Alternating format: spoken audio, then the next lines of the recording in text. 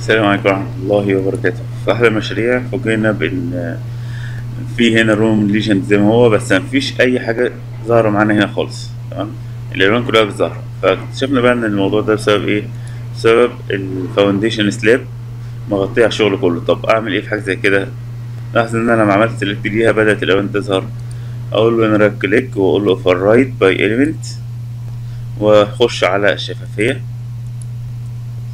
وأروح مديله شفافية. واحد. hundred